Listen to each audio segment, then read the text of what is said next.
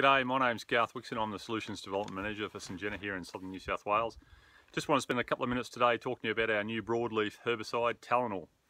Talinor is a combination of bicyclopyrone and bromoxynil, uh, so it's essentially a combination of a Group H and a Group C product for the control of a, a broad range of broadleaf weeds uh, when used in uh, both wheat and barley. Talinor provides a number of benefits to Australian growers. Uh, first of all, it, it, provides the opportunity to use uh, the new active bicyclopyrone. So we'll be one of the first countries in the world to utilise bicyclopyrone. In addition to that, uh, the combination provides a, a, unique benefit or the opportunity to utilise the synergistic effect of combining those two modes of action. So we actually get an increased level of weed control uh, as a function of the combination of the two products uh, in the formulation of Talinor uh, than you do if you were to use the two actives individually. In addition, Talinor will control a broad spectrum of broadleaf weeds. We're looking at around 38 uh, weeds for control and another two for suppression. And that spectrum uh, you know, goes right from uh, a range of brassicaceae weeds, so you know, wild radish, mustard, uh, Indian hedge mustard, etc. Uh, includes capeweed, fumitory, um, spiny emex, and also a, a broad range of uh, volunteer pulses. So a really robust, broad spectrum product.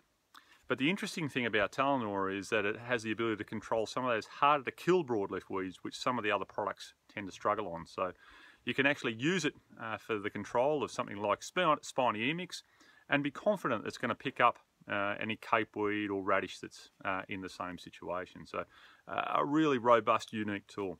Uh, because of the fact it's a combination of a Group H and a Group C uh, product or modes of action, it uh, offers a, a rotational tool uh, to manage resistance when it comes to broadleaf weeds. So uh, where group Bs, Is, uh, Fs have been used uh, significantly in the past, it provides a great tool to maximise your weed control, but also move away from those modes of action and, and provide them with a break.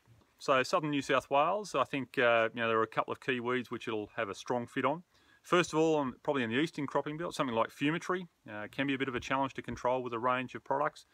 Talinor, what we've seen is across uh, five species of fumitory that uh, if applied at the right stage at a, at a, reasonable rate, you can achieve upwards of 90% control. So it offers a really useful tool for the control of fumitory um, across a range of uh, situations.